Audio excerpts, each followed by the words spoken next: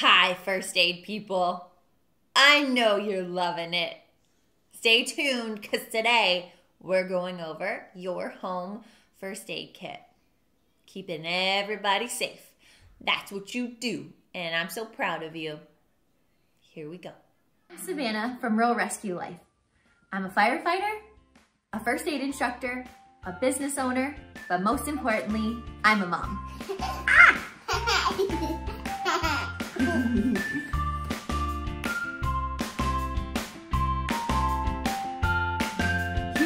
Rescue Life, we share home and family safety tips in hopes to grow your confidence and knowledge for a safer community.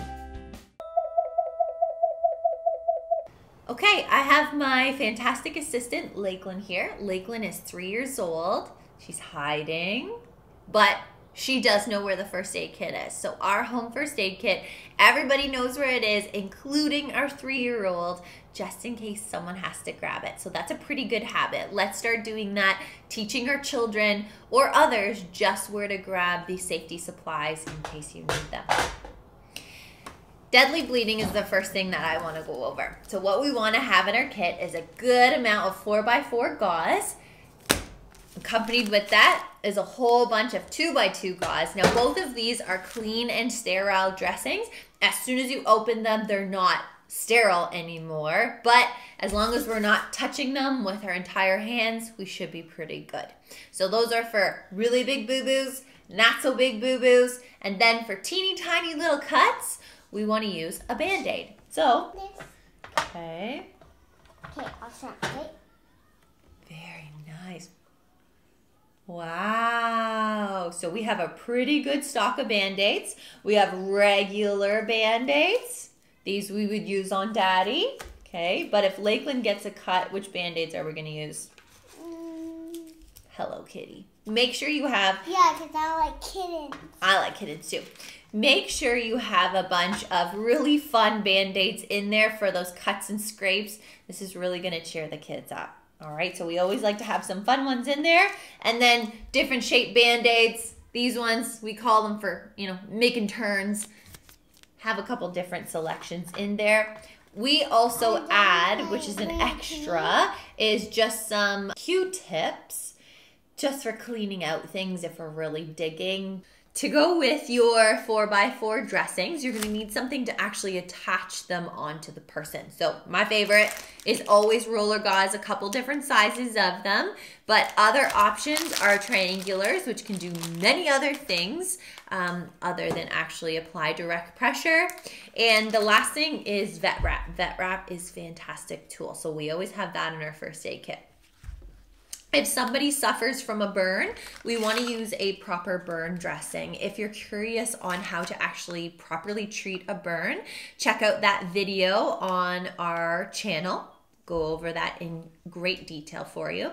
So this is a burn dressing, an actual non-stick burn dressing, but it also has ointment in it. So it will help take away some of that heat and pain that's happening to that person. You will not use this on a third degree burn. You'll use this on a first and second degree burn. Essential tweezers, a couple different kinds, pointy ones, thick ones, thin ones, as many different types of tweezers as you can find. Shove that in your first aid kit because we've all done some digging before for our friends. Right. Two things that are uh, extras, but I think everybody should have it an EpiPen, you do not need a prescription to buy an EpiPen. You can go buy one for yourself. So we have an EpiPen just in case something happens with friends, family, um, if they come over. We're only giving this to somebody if they do already have a prescription, but maybe they forgot it. So it's a known allergen. Then we would use epinephrine or an EpiPen on that person. The other thing is Dex4. So what this is, is actually just fast acting glucose. If someone's having a diabetic emergency, we would try to use Dex4 to bring their sugar levels up. If that's not helping, then we're obviously gonna call for extra help to get that person stabilized. So those are our must-have. Our gauze, our box of Band-Aids, especially the Barbie ones, our roller gauze, triangular bandage, burn dressing, tape, tweezers. It's not a crazy amount, but these are things that you should always have around ready to go in case there's an emergency. All right?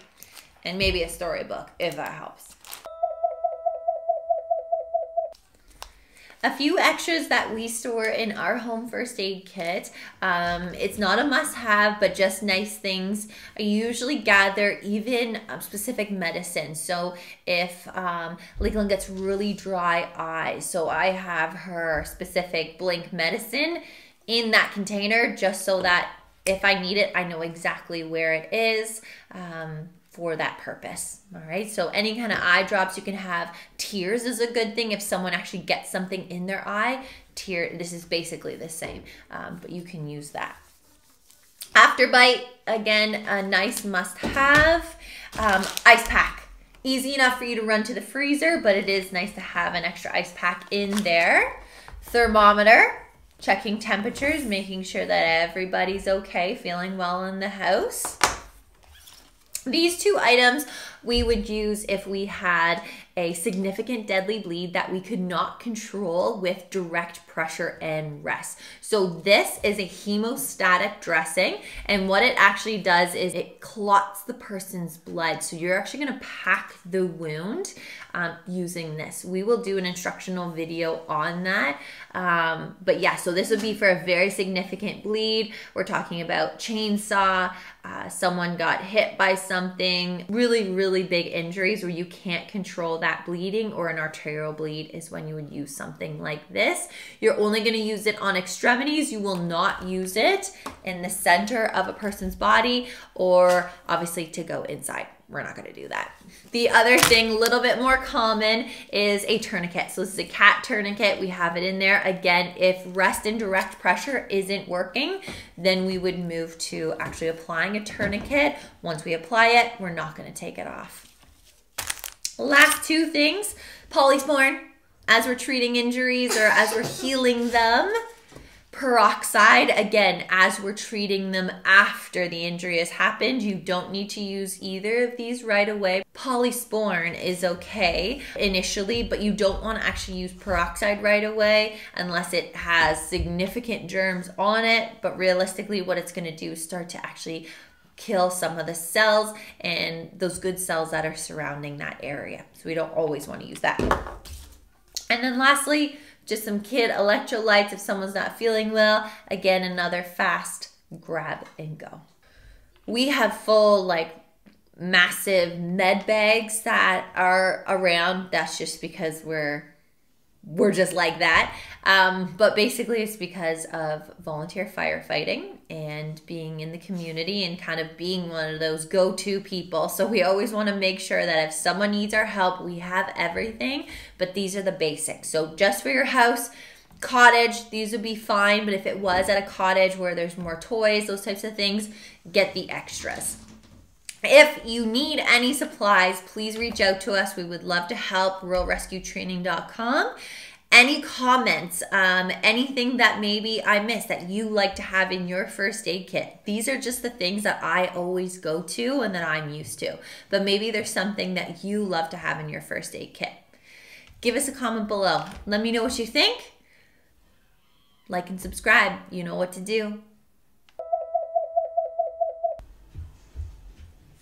Or what? Just to read. And I'll read to the photos when it's bedtime for them. Part 10, boo boop bedtime.